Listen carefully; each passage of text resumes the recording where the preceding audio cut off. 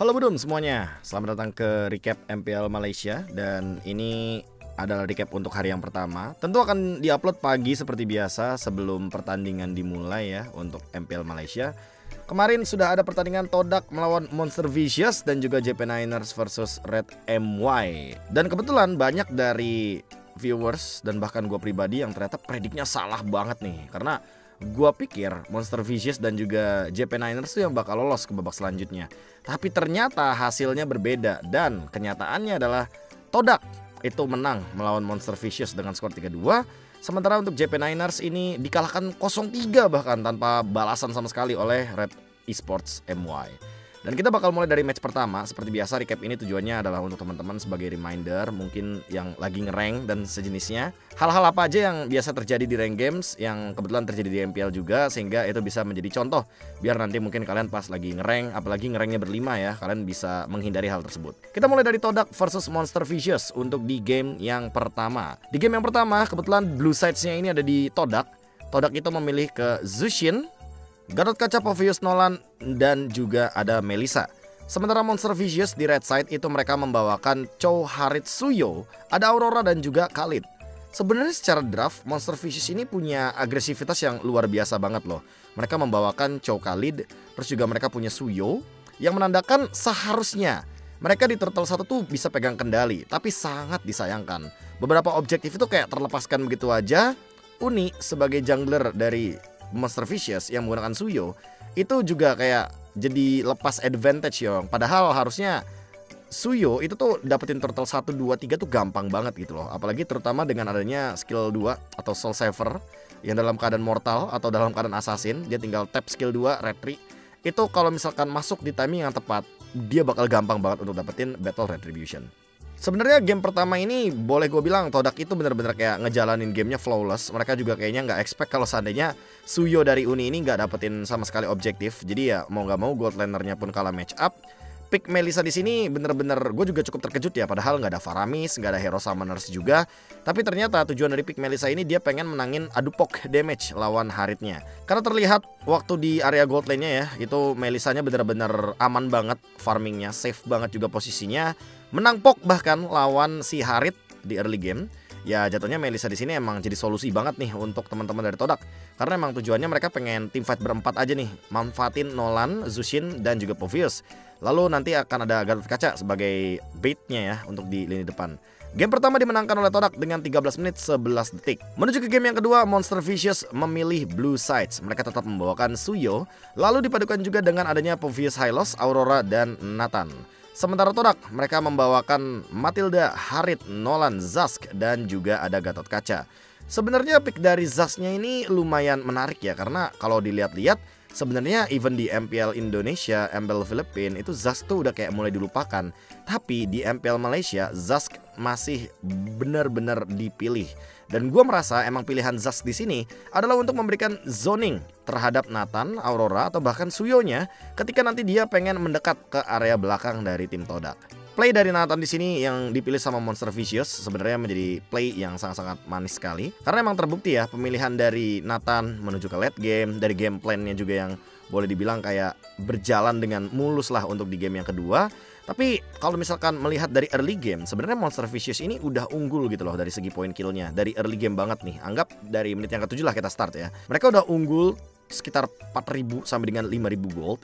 Dan tujuan dari Nathan menuju ke late game ini nih kayak sebenarnya nggak harus ke late game late game banget. Sebenarnya mereka tuh bisa end game di menit 12 atau menit 13-an gitu loh.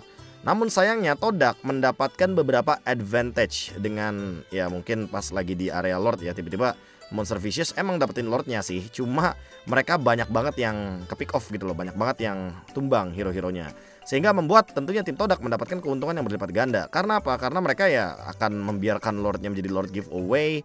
Monster Vicious juga nggak bakal bisa ngelakuin push ya Kalau misalkan emang anggota mereka nggak lengkap. Bahkan kalau teman-teman sadar itu di menit 13an ya. Yang awalnya gold dari Monster Vicious tuh udah unggul 4000 sampai dengan 6000an ya. Itu OTW 10000 Tiba-tiba gara-gara dapat lord tapi rata itu Monster Vicious kayak dibalikin keadaannya pelan-pelan. Tapi untungnya ketika sudah mulai beranjak ke high ground di menit ke-21, pemanfaatan Lord Evolve dari Monster Fishes ini tidak disia-siakan. Jadi pada intinya kalau emang kalian udah dapetin Lord Evolve ya teman-teman ya, tempel aja tuh Lord Evolve dan kalau bisa emang menangin dulu sih laningnya ya. Minionnya dijalanin dulu biar nanti nggak kena split push, baru deh nanti manfaatin tuh damage reduction yang ada dari pasifnya Lord ketika kita nempel sama Lord yang Evolve ya, Lord di menit 18 ke atas. Game kedua disamakan kedudukannya oleh Monster Vicious 21 menit 18 detik Menuju ke game yang ketiga, Todak memilih Blue Sides. Mereka membawakan Suyo Zushin, Arlot, Gatot Kaca, dan juga ada Iritel.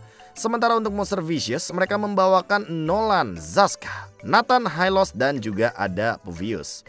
Sebenarnya di game yang ketiga, gua merasa kalau ngomongin draft ya, ini draft only ya teman-teman ya draft only ini Todak emang punya keuntungan gitu loh. Karena apa? Karena dia punya Suyo. Suyo yang early gamenya tentunya kalau dapetin turtle itu bakal dapetin keuntungan. Tapi sangat disayangkan lagi-lagi Todak dengan Suyonya tidak 100% mendapatkan turtle objektif. Turtle objektifnya malah didapatkan oleh Uni beberapa kali dan bahkan boleh dibilang mungkin dari Zahiatnya ya. Ini pemain jungler dari Todaknya itu emang fokusnya tuh buat cari poin-poin kill gitu loh. Dan di sini pemilihan dari Iritel itu juga cukup menarik ya karena kebetulan kalau kita lihat dari komposisinya kan hero-hero depannya ada Povius, terus juga ada Hylos gitu loh. Itu dua tipikal hero yang kayak butuh banget di Hunter Sword kan. Tapi pas ternyata Ciku guysnya ini mainnya dari belakang, mainnya ngeflank karena dia juga jalannya kan bareng sama si Momo ya, bareng sama si Arlotnya. Ternyata beberapa kali Irital ini mampu gitu loh untuk langsung tembak panahnya tuh ke belakang. Jadi dia tuh nggak main dari depan, dia nggak main front to back. Dan itu mungkin ya yang harus diperhatikan gitu loh. Kalau emang lawan match up kalian yang hero-hero tanker depannya tuh tebel banget dan harus bikin Demon Hunter Sword, sementara kalian hero-hero yang critical damage, ya berarti kalian punya chance untuk mainnya dari samping gitu loh, kayak yang Ciku guys lakuin. Dia mainnya tuh dari belakang, main Raulnya nih ya, main ultimate-nya Heavy Crossbow, loncatnya itu langsung ke damage dealer. Karena terbukti gitu loh, sekalinya dia berhasil untuk mendapatkan damage dealer apalagi sama-sama gold laner gitu loh, lawan match-up-nya Apalagi gold lanernya tuh mainnya attack speed bukan yang critical damage juga. Tentu itu akan membuat keuntungan dari si Iritelnya yang first itemnya rata-rata khas claw bakal lebih mudah untuk mengeksekusi lawan match up-nya di gold lane.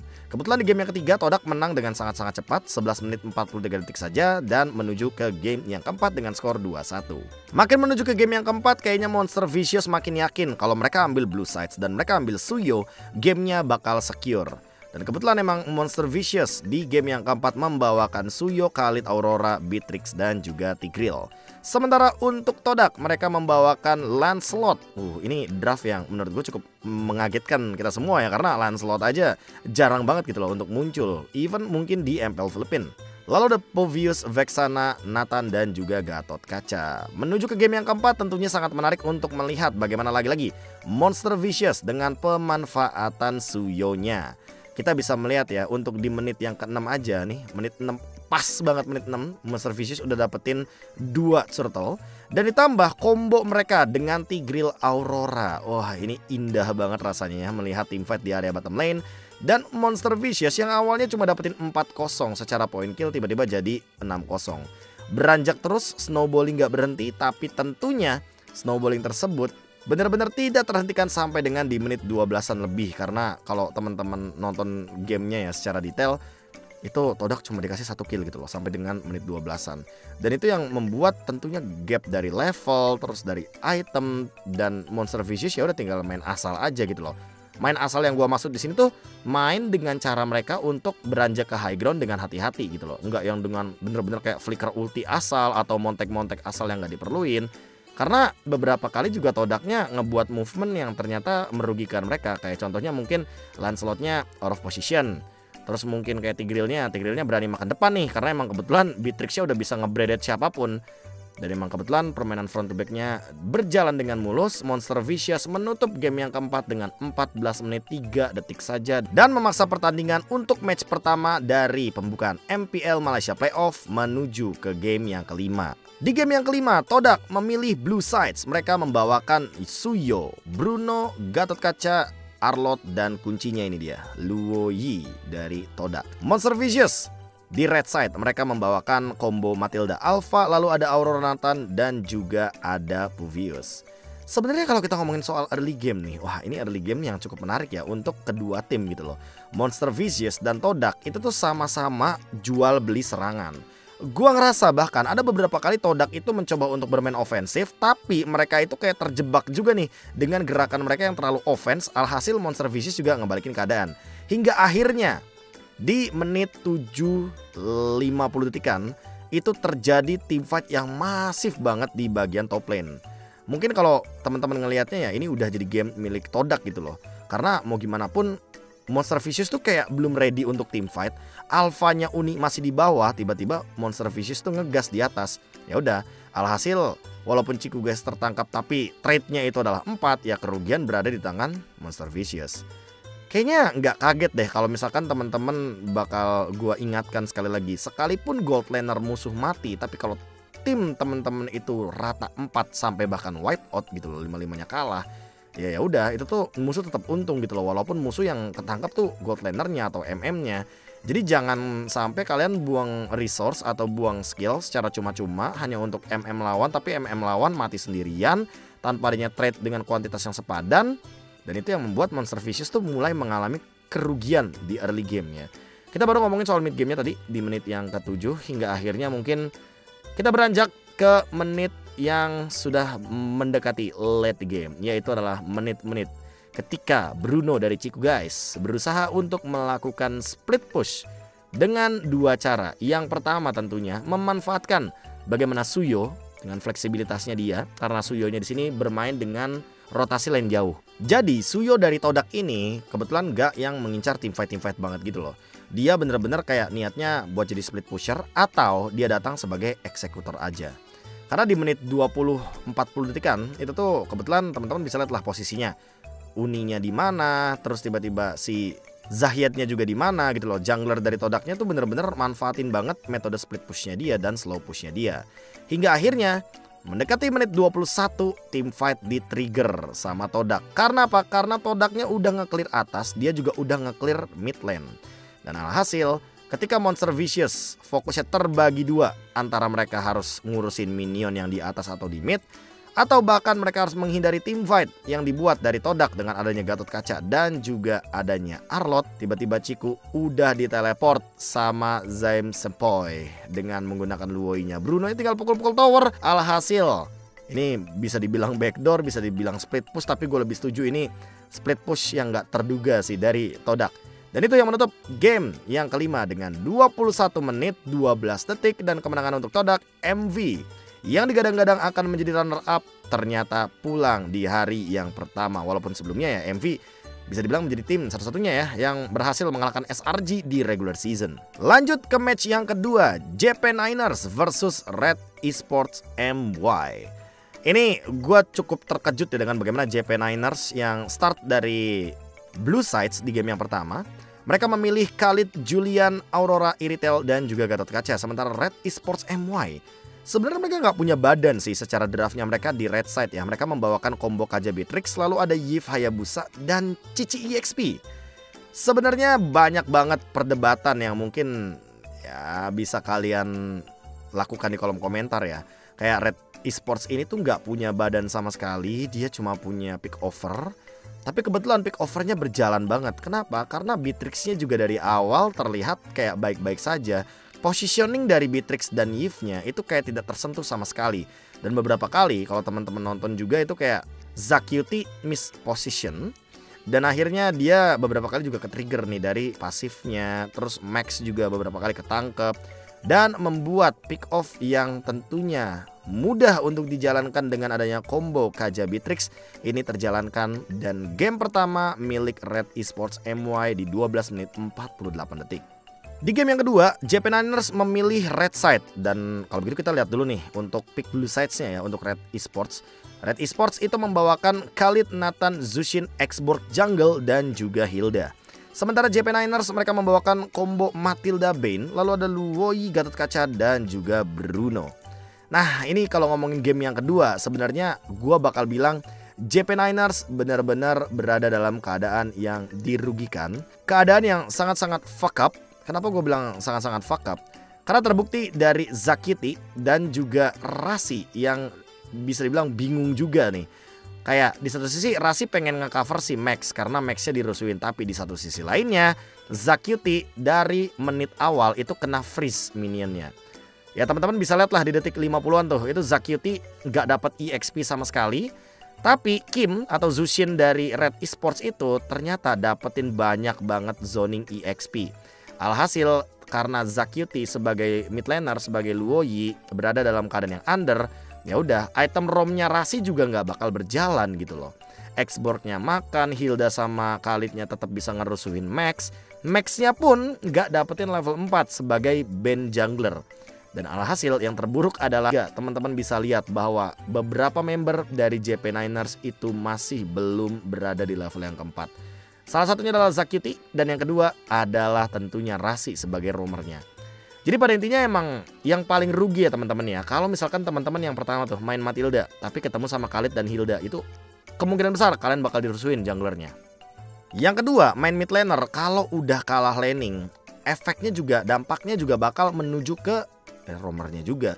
Roamernya bakal bisa dibilang nyusul goldnya karena dia dapetin 10 gold sementara mid lanernya nggak mendapatkan gold yang sepadan. Karena kalau misalkan mid laner itu ada di posisi yang paling bawah tentunya dia tidak akan mendapatkan 10 gold kayak roamer karena dia cuma dapetin 8 gold aja. Tentunya dengan hal ini akan membuat kestabilan ekonomi dari JP Niners juga sangat-sangat jomplang.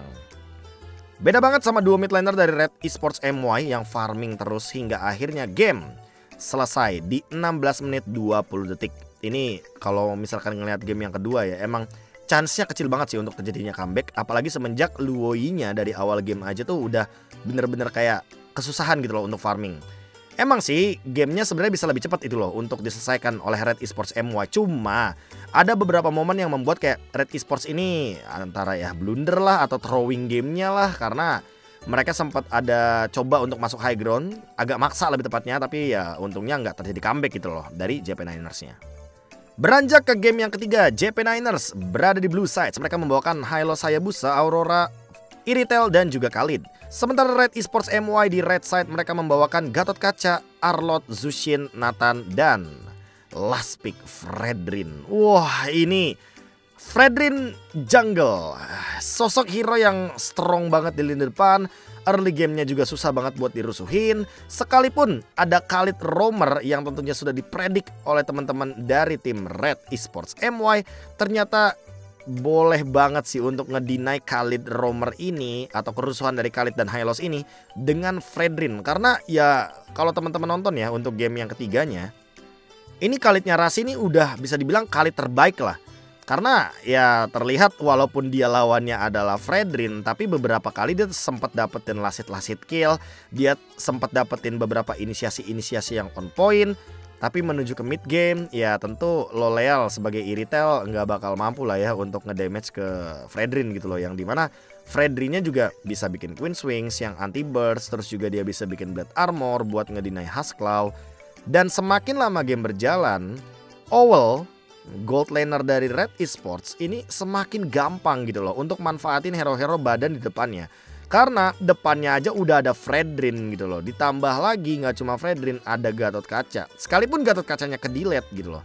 Masih ada Arlot. Dan sekalipun ada Arlot yang ganggu-ganggu lagi nanti ada kan ada Zushin juga. Membuat Nathan di sini super strong banget. Hayabusanya Max juga walaupun ada Flame Retribution, ya dia nggak bakal bisa gitu loh untuk menuju ke belakang. Hingga akhirnya di sini posisi dari Red Esports MY menang banget secara zoning out dan membuat gamenya jadi 3-0 langsung ditutup begitu saja tanpa adanya satu poin pun yang bisa diambil oleh JP Niners di 17 menit 10 detik saja. Menuju ke hari yang kedua tentu akan sangat banyak sekali pertandingan yang menarik. Salah satunya adalah Selangor Giants versus Todak. Lalu ada tim Vamos versus Red Esports MY. Wah ini akan sangat menarik ya bagaimana menantikan Chibi melawan Sensui. Ya Sensui kan adalah mantan jungler dari Blacklist International. Sementara untuk SRG lawan Todak, ini kayaknya gue lihat-lihat ya Todak ini mulai bangkit setelah RRQ ini menuju ke M6 dan apakah kita akan melihat Todak reunian sama RRQ? Ya let's see nanti apakah itu akan terjadi atau tidak. So gue KB mohon pamit undur diri dan sampai jumpa lagi di recap selanjutnya karena gue akan terus bikin recap sampai dengan M series. Stay tune aja. Jangan lupa bahagia. Dadah.